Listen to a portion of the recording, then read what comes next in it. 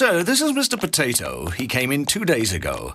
He is recovering from an acute coronary syndrome. We performed a PCI, a percutaneous intervention, and implanted a bare metal stent in his left circumflex coronary vessel. The remaining coronary lattice, in particular, the anterior interventricular branch of the left coronary artery looked normal, although his lipid profile was borderline, showing low HDL cholesterol and high triglyceride levels. His blood pressure is 160 90 millimeters mercury.